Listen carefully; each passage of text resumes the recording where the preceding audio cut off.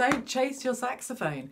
It looks a little bit weird playing like this and you will end up with aching shoulders and aching necks. Instead, learn how to hold it properly. So take your right hand thumb and you are going to place it underneath this hook here. The thumb underneath the hook, that puts your fingers ready to press those keys at the bottom. Your thumb's comfortable at about hip height.